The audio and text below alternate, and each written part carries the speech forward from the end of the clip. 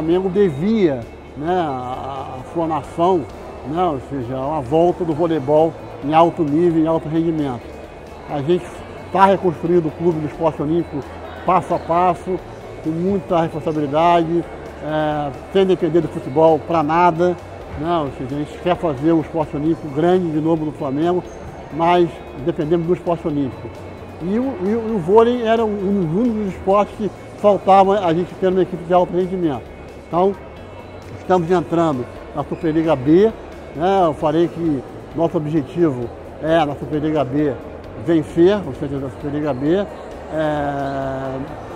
o trabalho de preparação vai ser um trabalho longo, a gente vai ter um semestre inteiro para treinar, jogar o estadual, é, fazer muito amistoso, para chegar lá para janeiro da Superliga B em totais condições de, de conquistar o título. Então nós estamos muito felizes, muito alegres, achamos uma vitória é, não só para o Flamengo, mas para o esporte carioca. Me sinto muito feliz porque eu tive uma história na base aqui e realmente quando você se torna adulto é muito difícil, né? Você não ter para onde ir.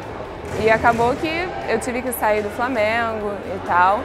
E para as meninas da base é muito bom tipo ter um espelho, entendeu? Que elas vão sair, elas veem a gente.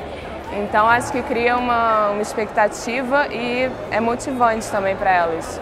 Então além de da gente querer subir para a Superliga A e tudo mais, que a gente né, tá treinando firme para isso, é muito importante servir de espelho para a base também. Hoje é um dia especial para o esporte olímpico rubro-negro. Né? A história do voleibol no clube é muito grande, né? vem desde os anos 40, né? com, inclusive com um título da Superliga em 2000. Então resgatar essa história através do lançamento de uma equipe adulta feminina é muito gratificante. Acho que toda a comunidade do voleibol rubro-negro está feliz, né? E a gente, é, como é, mentores do projeto, juntamente com toda a nossa equipe, a parte técnica, a parte multidisciplinar, as atletas especial, é, é um momento muito único para a gente e agora a gente quer coroar com isso, com muito trabalho, muito planejamento, a nossa subida para a Superliga A.